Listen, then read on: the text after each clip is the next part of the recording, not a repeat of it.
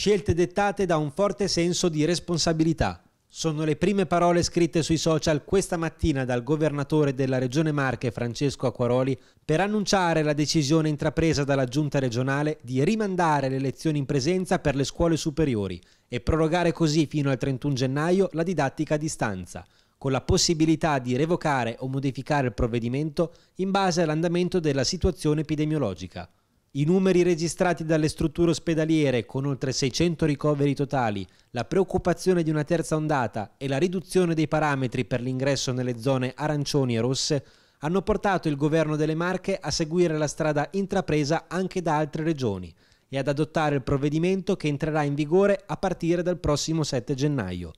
Resteranno garantite in presenza le attività laboratoriali e quelle per alunni con disabilità o bisogni educativi speciali. Diversi pareri dei dirigenti degli istituti superiori di Pesaro, anche a fronte dell'organizzazione iniziata prima di Natale per poter raccogliere gli studenti a scuola a partire dal mese di gennaio prima di Natale abbiamo appunto mh, avuto il DPCM del 3 di dicembre appunto prevedeva il rientro al 75%, eh, il tavolo prefettizio aveva confermato questo eh, e praticamente eh, insieme appunto all'ufficio scolastico regionale eh, ci avevano tra virgolette imposto comunque ordinato di organizzare l'orario entro il 31 dicembre per eh, un rientro al 75%, poi il 24 dicembre c'è stata l'ordinanza ministeriale del, del ministro Speranza, del Ministero della Salute, che comunque appunto eh, riportava la percentuale al 50%, quindi ci siamo organizzati così. Credo che la Regione abbia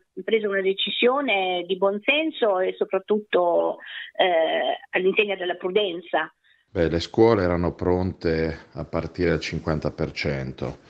Certamente ci dispiace tutto questo perché gli studenti hanno la necessità di riacquisire una normalità scolastica, però penso sia una decisione ragionevole. Siamo in mezzo ad una pandemia e anche la scuola deve apportare il proprio contributo. La scuola è comunque, volenti o nolenti, un assembramento importante. Credo che eh, sulla scuola si poteva forse lavorare diversamente. Eh, certo, i dati della Regione Marche non sono incoraggianti, però ecco, eh, leggendo anche il rapporto dell'Istituto di Istruzione Superiore del 30 dicembre, che prende quindi in esame proprio tutto il periodo che va dal 31 agosto al 27 dicembre, lì si dichiara che solo il 2% dei focolai che sono stati segnalati a livello nazionale sono stati nelle scuole.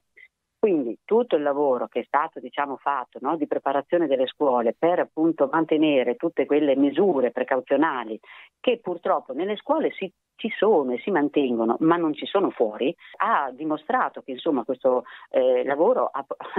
ha portato dei frutti.